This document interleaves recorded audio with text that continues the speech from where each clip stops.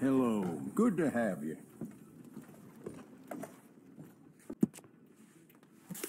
This ain't that good. What's this then?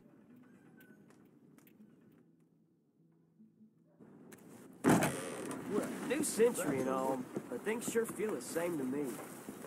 That's so.